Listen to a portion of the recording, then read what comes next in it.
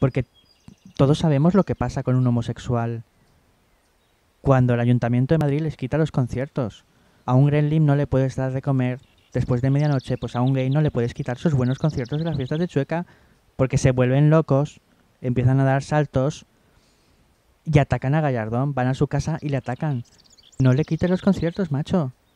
No, ¿por qué? Porque a mí me parece muy bien que seáis homosexuales, que os guste tocaros las pollas, comeros el pollal y romper lo anal en las habitaciones negras. ¿Es Esperanza Aguirre una mujer de cristal?